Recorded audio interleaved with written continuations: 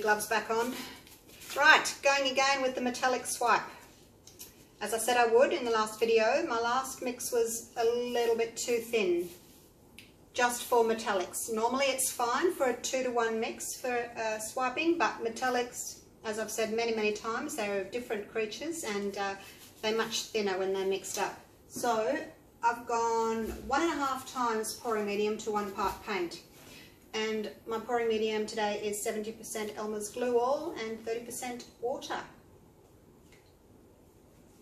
people asking me what's the ratio. You can go 700 grams to 300 grams. You can go 7 ounces to 3 ounces. You can go 7 cups to 3 cups. 700 mils, 300 mils. It doesn't matter as long as it's 70-30. Right, um, in saying that, one and a half times pour medium, one part paint, the metallics all seem to be different. The, the gold, I had to add a lot more paint to it. It was much thinner. The copper, I had to add a touch of water to it. So they're not exactly one and a half to one. That was a starting point and then I added water or I added paint depending on the thickness. Um, I wanted a little mound with these ones. And my black because it's not a metallic, I just did that as a normal 2 to 1 ratio. And oh, this feels a tiny little bit thin. What am I? Oh, I don't know. Let's add a tiny bit of black to it. I think that was left over from yesterday and it had a bit of water in it. Little tiny touch of paint just to thicken it up a bit. Just so it's the same consistency as my metallics. So no oil in that one. Uh, this is just an old canvas that I've, I've scraped previously and then rather than have the distraction of different colours that had soaked into the canvas, I've just painted it with black this morning and let it dry. Almost dry. A little bit wet there on the sides. Uh, so I'm just going to put two drops of silicone oil in each colour except the black.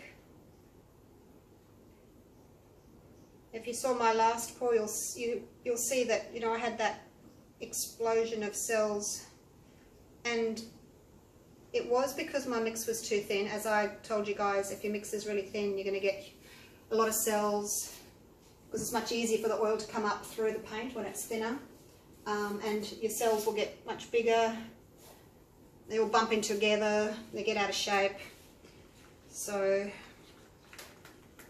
hopefully I won't have that this time because two reasons. I've got a thicker mix and also I've cut down on the oil just a touch. So hopefully it'll be alright. And you know how I said the copper really took over last time? I've just made up a little bit less copper. That's the rose gold, that's the copper. So a little bit of the less copper because it really takes over. Okay, so my middle, I think, again, is going to be about there. It's just a little guide for me, roughly. It's not exactly straight, doesn't matter. Little guide as to where I'm going to put my black in the centre. I'll swipe down, I'll swipe up. I've got my uh, paper towel ready to swipe down onto, just to keep things a little bit tidier. Um, just to go a little bit quicker this time, let's just do this, hey?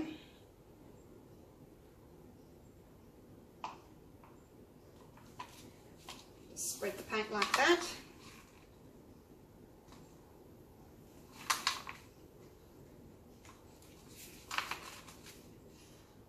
This is the rose gold going down. It is about two parts gold to one part copper is usually what I do for that one.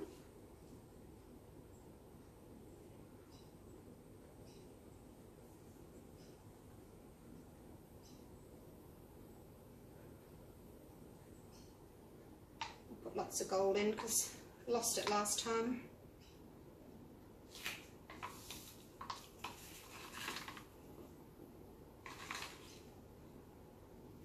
When the metallics are still wet, they don't look very attractive.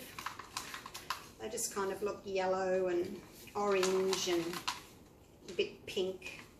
It's not until they dry that you'll see them come into their own and really look pretty. So at the moment, you know, it just looks kind of orangey and yeah, not the best. But it won't stay like that.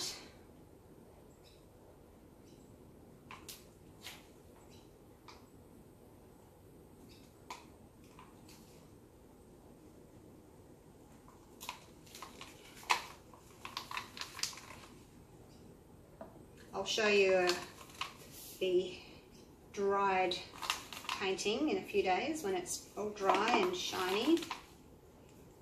That is if it works. If it doesn't work, I'll scrape it and I won't show you at all. Well, I'll show you the video, but I won't show you the dried product because there's no point me keeping a, a pour that I'm not happy with.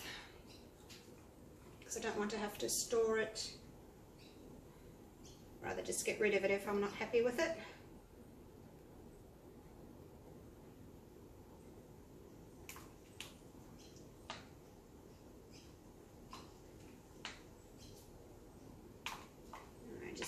Some copper here and there.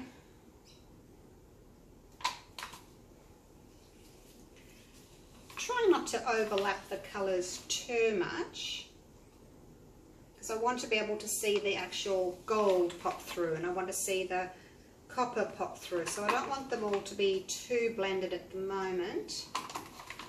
Once I swipe they will get blended but I don't want them all to blend too much now because then it'll cells will all just look the same. Okay, so little pops of this cream here and there, metallic pearl it's called. It's a really pretty colour.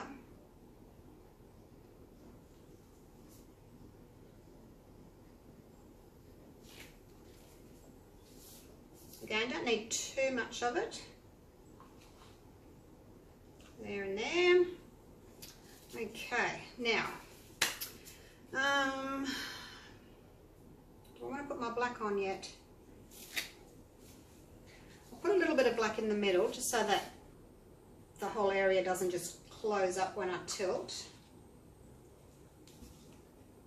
And then I'm going to zigzag the black a bit so that I can get I'd like a little bit more black through here rather than just metallic so I want some more black. So I'm going to I'll show you in a minute after I've covered my my canvas. See that's tipping a lot better now isn't it? Can you see the difference?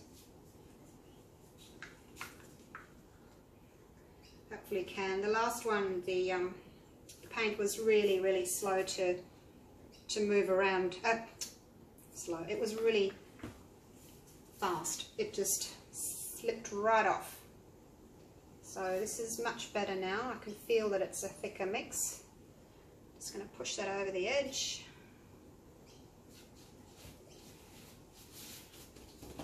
Um, what have I got left?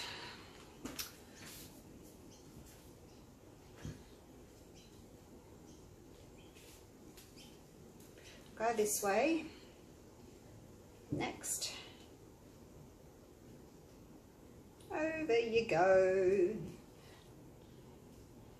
It feels almost as thick as a, a flip cup paint. It's, it's not that thick, but it feels it. If your paint is really, really bubbly, frothy when you mix it up, you've got a pretty good chance that your mix is on the thin side. If you mix it up and there's hardly any bubbles, it's probably going to be quite a thick mix. Now I just want this to go over the the bottom there.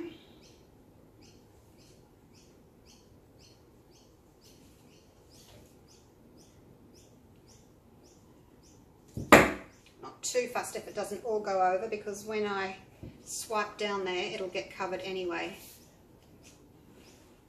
I've got my puppy piddle pad underneath there because this doesn't have any support in the middle so I've just folded up a puppy piddle pad to put in the middle. To stop it from sagging. Now that little bit of white there, that's just to encourage the paint to, to go over the edge down there.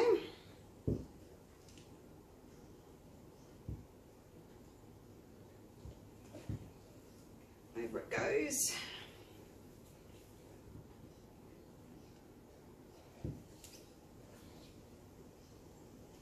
I still see there's quite a lot of paint on the surface. It's still moving well.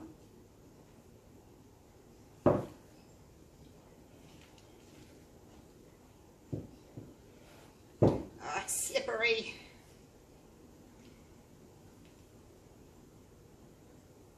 Okay. It's kind of back in the middle. Just going to check where my piddle pad is. There we go. It's making a bit of a mound there in the middle. Might be a bit too thick. I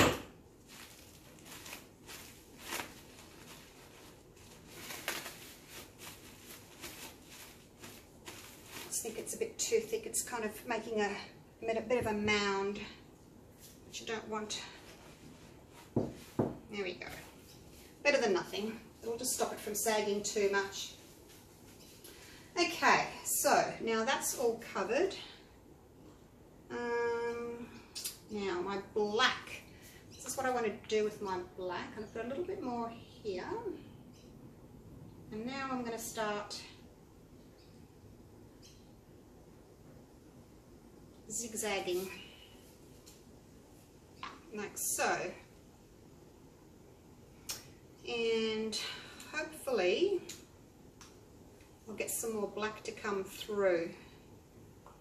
And I'm also going to put just a, a little thin strip of black there.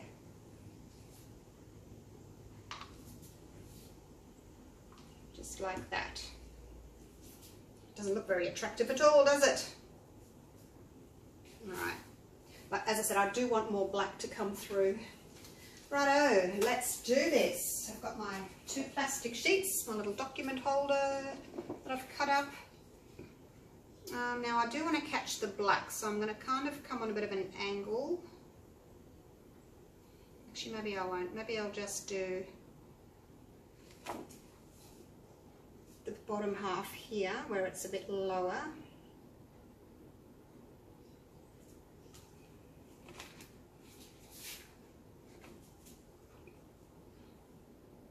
It's the problem with adding your black on uh, um, beforehand. You lose your line and I like my line. There we go. I'll just do a bit of an angle like that. It'll be alright. Okay, off we go.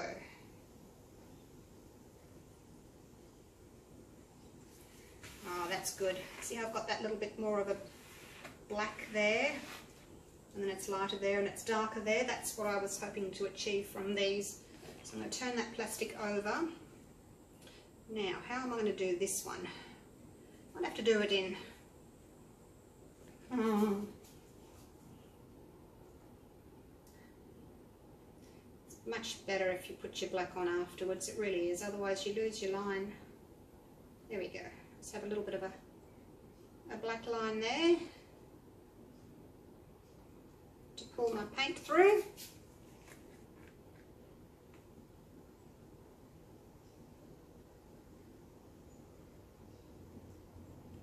Losing that lovely cell that I had there.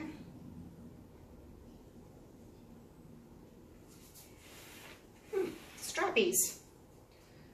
Um, not sure how I feel about that. No, don't really like that. Let's go again with some black.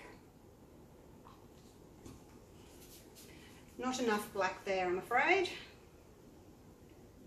Touch the black and back down we go. That's better. I prefer that. See, it's more of a, a darker um, overall look there. Uh, this one, I would prefer this to be a little bit darker.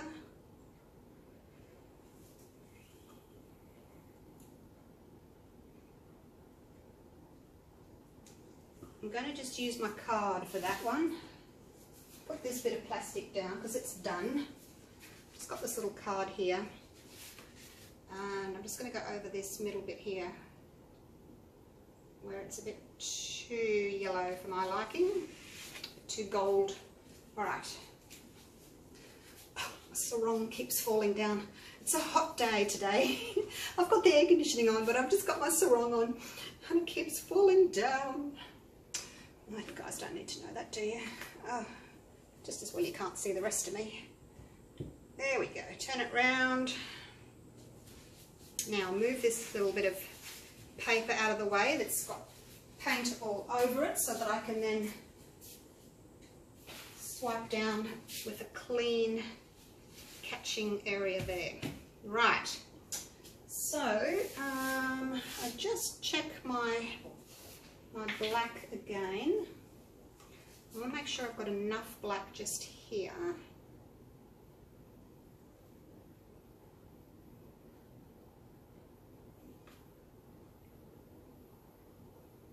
There's quite a lot there. So I just want to make sure I've got enough here. I just find I get a better result from having more black on the surface.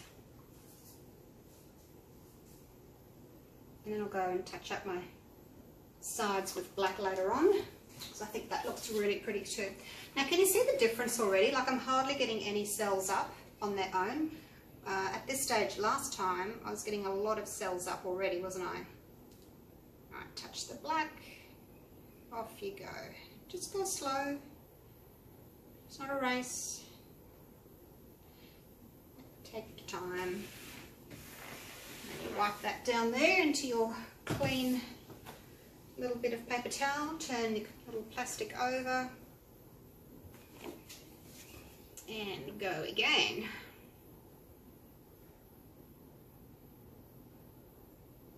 I'm being pedantic, aren't I? Never mind. Make sure you overlap your plastic. Good contact and then go. Wait till you've got good contact on your black there before you head off. Don't just drop it and pull. Okay. I'm happy with that. Hope these cells are going to be good. It looks promising. It does, it does. Now I'm just going to put a little bit more black in the middle because I like my black center. Just give it a bit of a clean break there with the black.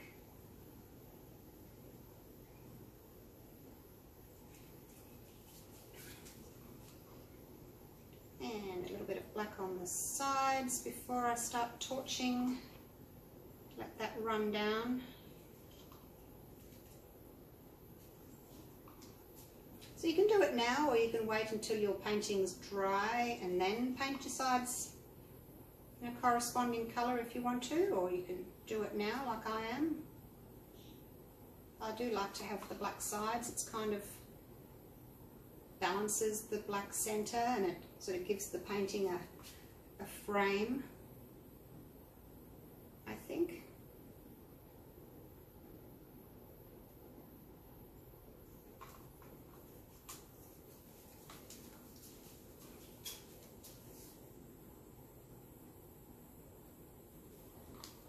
And while you're doing this, you're just waiting for any cells to pop up if they want to.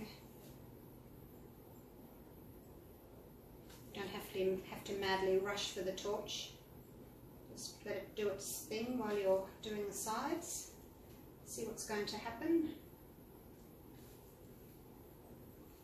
And uh, if your mix is really quite thin, as it was last time, for my metallic pour, you will have got lots and lots of cells already popping their little heads through.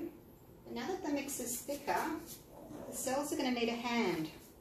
They need a bit of a helping hand to get through, and that's where the torch comes in. Heats the oil. Oil obviously wants to come to the surface, because that's what it does, oil and water. The oil rises to the, uh, to the top, and it brings the colours through with it making our cells. That's the science behind it. All right, let's do this exciting bit, shall we? So, so far I am happy. Now I'm going to go up high, not too close. I'd rather go, because they're probably going to jump out, so I'm going to go just around once, around here once, and through the middle, and wait.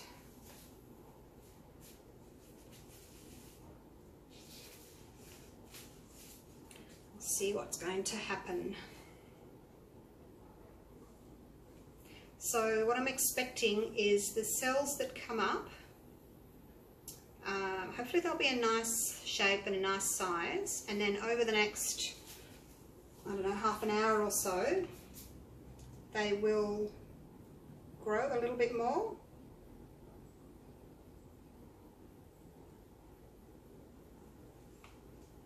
So I don't want to over torch them because I know that these metallics are going to stretch. Okay, so that's pretty good for the first torching. These, some of these cells are just beautiful.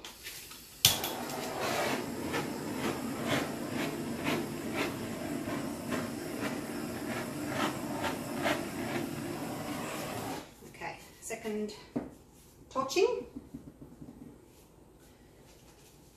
As I said, don't go crazy torching because nothing's happening. So just don't go over it and over it and over it and over it because then they'll all, you know, a minute later they'll all be there and then you'll have over torched. So just wait. And like with my flip cups, I like background. So see this here? You've got these sort of black streaky bits with streaky copper coming through it and a, a splash of cells. That is gorgeous. I love that. That's the kind of look I personally like for my swipes don't like it when it's too busy. I, really don't. And all the cells, you know, bang into each other. That metallic one that I did earlier, it's just under the table here. I'll show it to you. The cells have kept growing a little bit. See how they're all banging into each other and they're all wobbly and there's hardly any background at all. So that's what I'm trying to avoid with this one. Alright, let's torch again.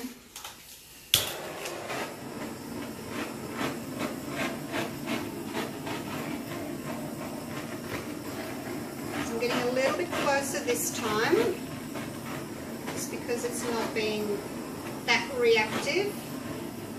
So a little bit closer. Go around the middle again.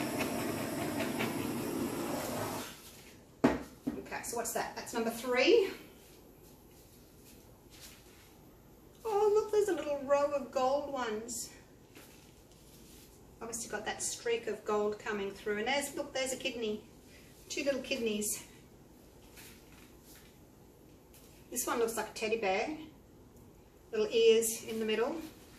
They're kind of like GAC cells, aren't they, where they join together like that. Little threesome happening here. I don't use GAC. I, I don't know that we can get it in Australia. Never looked, actually. Alright, I'm going to torch it. The middle's quite thick. So that's because I had a lot of black there. And then obviously as I've drawn it through, the black's thinned out. But in the middle, it's quite thick. But I don't mind that. I, I don't really like that in the middle there. I'd prefer if that was just plain black. I may actually dig that out with a spoon and cover it in with just plain black.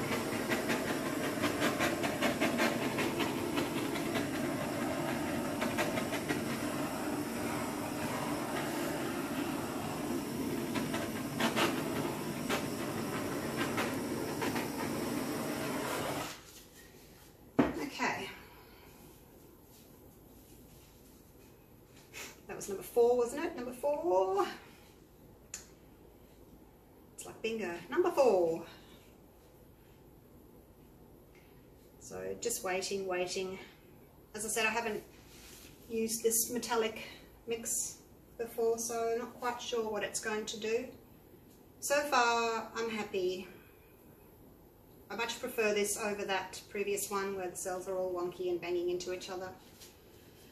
Um, the little ones will continue to grow.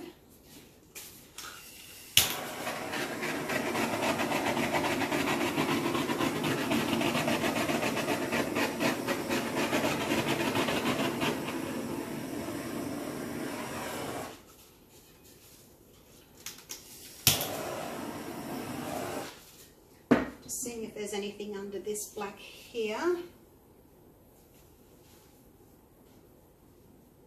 So as you're getting used to the thickness and the height that you can torch at, you know, next time you might want to go a little bit closer. But in saying that, I went closer there and then I got a little cluster happening, a little colony there. So I do want to scoop that out. I don't like that. That's where I sort of picked at it and lost my cell shape. I'd rather have it black right in the center rather than that sort of a wobbly cell look. So I'm going to use a little tool. I've got a hair stuck to me. Get away. I'm going to use this little tool.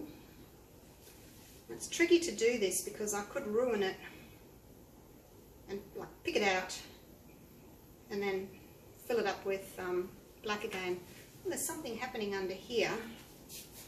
Little tiny ones happening under there.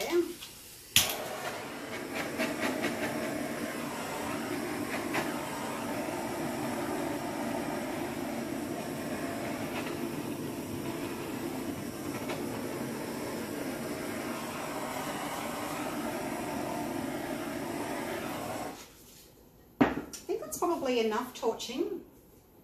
Um, it's getting it's getting busy and the cells that are here will continue to grow like I said they will grow so you have to allow for them to expand um, and then they might start bumping into each other so there's a little cluster here little cluster here um, yeah I'm going to leave it like that I'm going to scoop out my center and uh, I'll show you another day when it's dried. I'll take you in for a close-up. You can have a look at these pretty cells. They're really pretty cells. Um, show you the blue one that I did the other day. This one, this one was a two to one mix. So much bigger cells, but not quite as loose looking as the metallic that I did this morning because the these paints aren't as runny. So we've kind of got three different ones. This is the medium one. The This is the one with the smaller cells and then the one I did this morning are just, cells are just way too loose. So that gives you the, the difference in the, the thickness or the consistency of the paint will determine the size of your cells. Okay. So if you're wanting big cells, have a thinner mix. And if you're wanting smaller cells, have a thinner mix. As I said, this is based on a one and a half parts pouring medium to one part paint.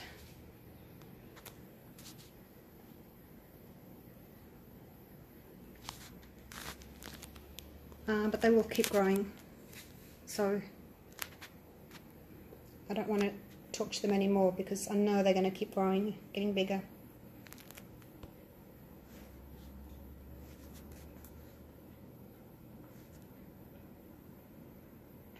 How cute are they though, hey? They're really nice looking cells.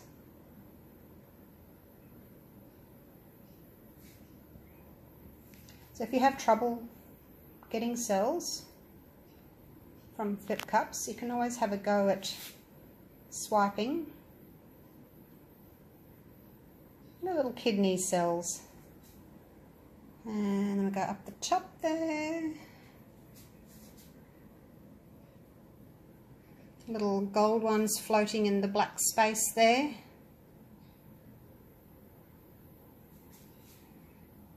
Smooth over a bit to the other corner. See that row of gold ones, how they've kind of all um, joined together. They were separate when I first pointed them out to you and now they've grown in the last five minutes that we've been I've been chatting. So there you go. Pretty pretty.